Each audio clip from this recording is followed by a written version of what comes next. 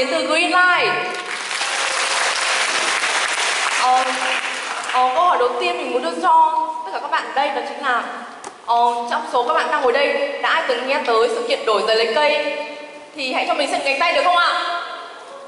Wow, mình có thể nhìn thấy ở dưới khoảng độ 80% các bạn đã từng nghe tới sự kiện đổi giấy lấy cây của bọn mình. Um, thì sự kiện đổi giấy lấy cây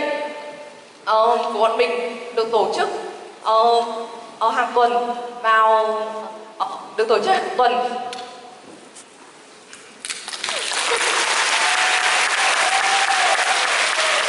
Oh, ok, một câu hỏi nữa chính là sau khi uống sữa xong thì các bạn sẽ làm gì với vỏ hộp sữa?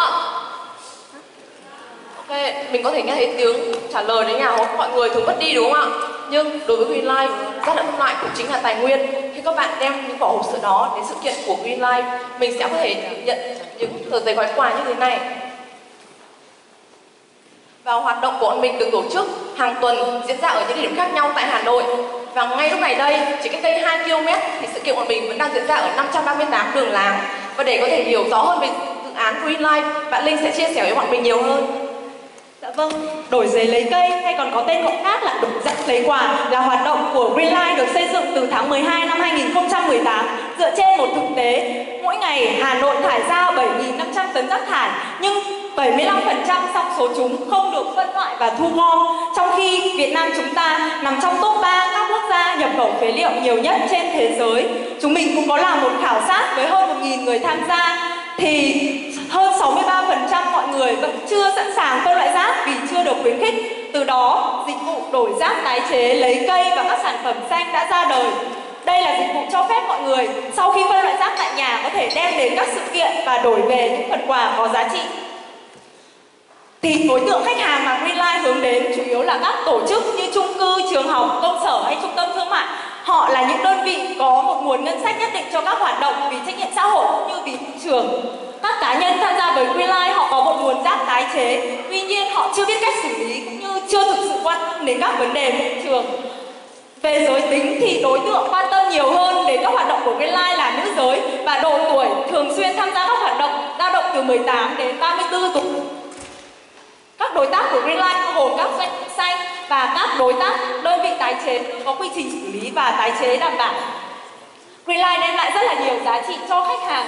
giúp họ xử lý nguồn rác tái chế sau khi họ đã phân loại tại nhà. Qua đó hình thành nên thói quen nhận thức về phân loại rác tại nguồn với các tổ chức Greenlight giúp họ tổ giúp họ xây dựng và quảng bá hình ảnh đẹp với cộng đồng và thông qua đó có thể tạo ra tạo ra và tạo ra thêm nguồn khách hàng. Và đối với các đối tác thì Greenlight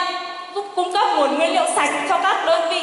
tái chế cũng như là quảng bá các sản phẩm xanh ở địa phương đến gần hơn với người tiêu dùng. Sau gần một sau một năm hoạt động,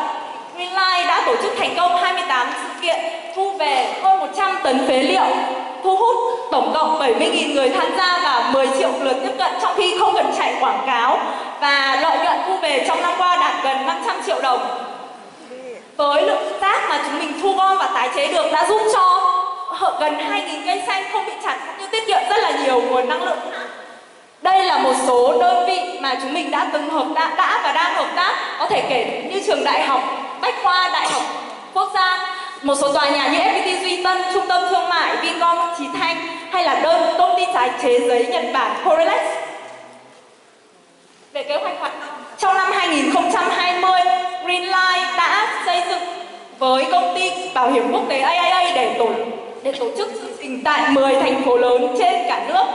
sang năm 2021 khi thành lập doanh nghiệp xã hội thì Greenlight mong muốn sẽ xây dựng và tích hợp ứng dụng di động trong hoạt động thu gom và đến 2022 sẽ xây dựng chương trình giáo dục trải nghiệm tại các trường học như là các hỗ trợ tiêu dùng xanh về kế hoạch marketing thì Greenlight sẽ cung cấp hai sản phẩm dịch vụ chính. Thứ nhất, tổ chức sự kiện tại các địa điểm công cộng và thứ hai, thu gom tại các tòa nhà và trường học. Không hai kênh truyền thông chính là online và offline. Với các kênh online thì Greenlight tập trung vào mạng xã hội, điện tử và các đài truyền hình. Gần đây nhất là ngày hôm qua sự kiện tại 538 đường láng thì Greenlight đã nhận được lời mời ghi hình của đài truyền hình Hà Nội cũng như là đài truyền hình Việt Nam. Với các kênh offline thì Greenlight đã chủ yếu tập trung vào các hoạt động cũng như là các diễn đàn hỗ trợ hoặc là các cuộc thi ví dụ biểu như là cuộc thi uh, én xanh thì Greenlight là một trong số những én tiêu biểu, những sáng kiến kinh doanh tiêu biểu về mục tiêu phát triển cộng đồng. Vậy thì Greenlight lấy kinh phí từ đâu để xây dựng và duy trì hoạt động? Thì ba nguồn kinh phí chính của Greenlight đến từ phí dịch vụ mà đối tác trả để Greenlight duy trì hoạt động. Nguồn bán rác tái chế sau khi chuyển đến cho các đơn vị thu mua và tiền cây trồng bán trong sự kiện. Đây là cả chi phí hàng tháng của Greenlight và doanh thu hàng tháng đạt hơn 100 triệu đồng. Thì kế hoạch tài chính đến hết năm 2024 của Greenlight không sẽ là tăng lợi nhuận lên gấp 10 lần so với hiện tại, đạt 5 tỷ đồng. Khi mà Greenlight thêm ứng dụng di động cũng như là mở rộng dự án ra các tỉnh, thành phố trên cả nước. Và với Greenlight thì sứ mệnh với Greenlight xây dựng với sứ mệnh xây dựng một cộng đồng sống sạch. Ồ, dạ vâng cảm ơn.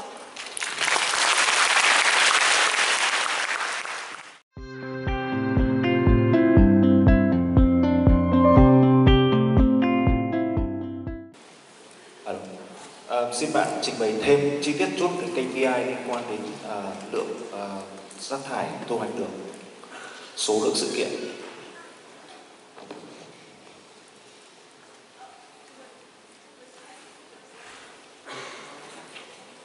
Vâng, về KPI của anh về số lượng rác thải đúng không? Tại vì một phần là slide em chưa chiếu. Thì em có thể trình bày luôn. Vâng vâng, xin mời ban tổ chức có thể chiếu lại cho em slide? Thì nhìn chung thì mục tiêu của chúng em trong vòng 5 năm tới ạ sẽ giúp tăng lượng người tham gia sự kiện lên hơn một triệu người cũng như là tăng lên hơn 1 triệu người và giúp giảm thiểu 50% lượng rác thải ra môi trường ở Hà Nội ạ. Cũng như trao đi hơn 1 triệu cây và các sản phẩm xanh.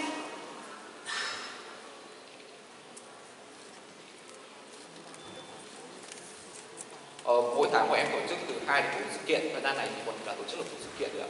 và bọn em tổ chức tại các trung tâm các tòa nhà hay là ờ, ngay trong hôm nay bọn em đang tổ chức tại trường phổ thông Bắc Hà ở Đà Nẵng ờ, mỗi tháng thì bọn em sẽ ờ,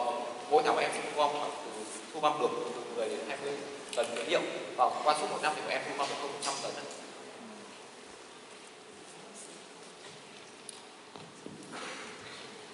À,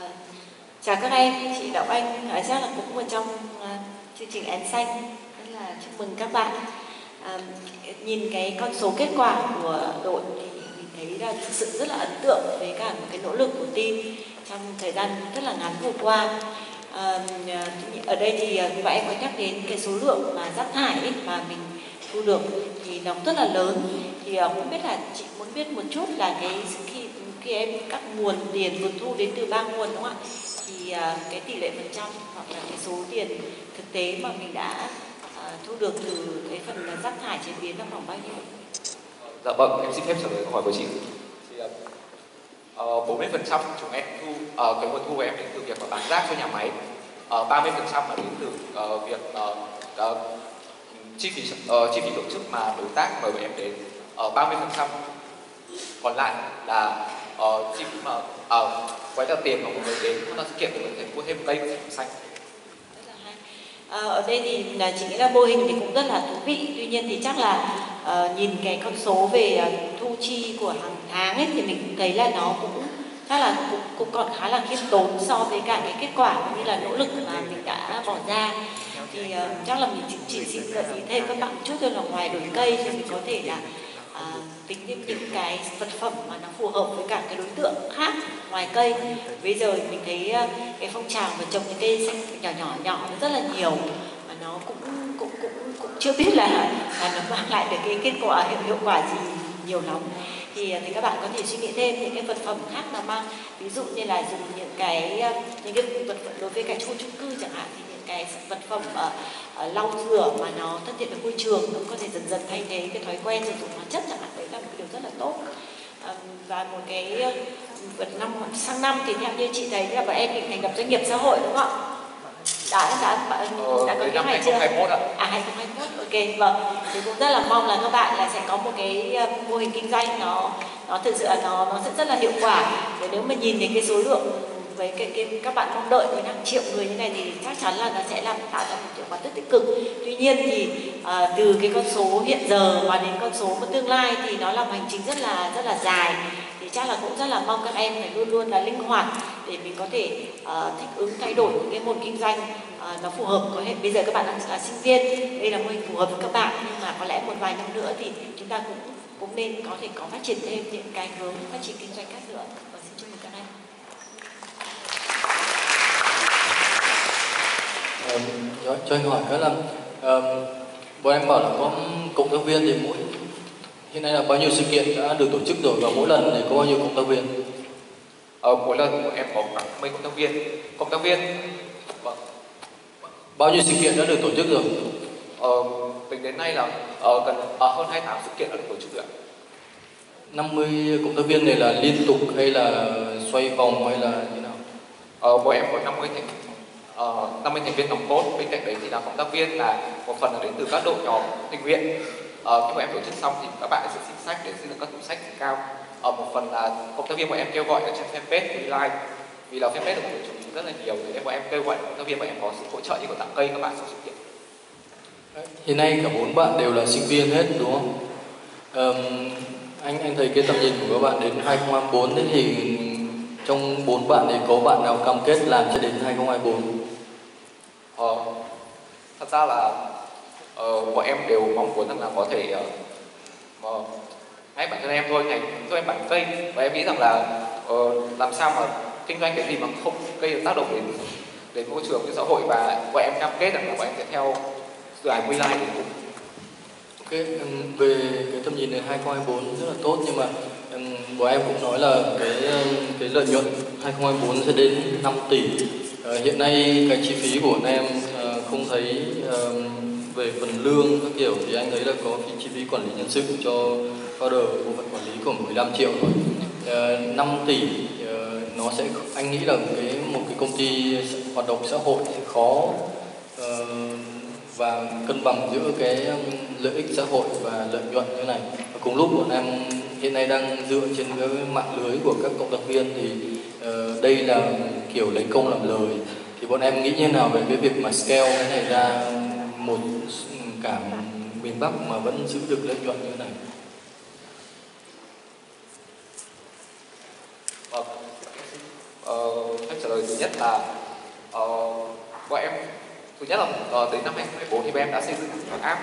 và bọn em thu gom định kỳ đến các tòa nhà. Ở bên cạnh đấy thì các thành phố lớn cũng vậy. Và bọn em duy trì một ước của tất nhiên bởi vì các hoạt động này nó liên quan đến môi trường. Và đặc biệt là khi đã trở thành doanh nghiệp xã hội thì bọn em có sự đóng góp vào trong cộng đồng bởi vì đấy là cái sở thích của em thực sự và đó là lý do mà bọn em tự tin rằng là uh, bọn em có thể uh, Quý vị thân mến, 7 phút Q&A đã kết thúc và sau đây xin được cảm ơn đội chơi Green Life và kính mời đội chơi thứ hai chúng ta sẽ cùng ra sân khấu để đến với phần thi của mình.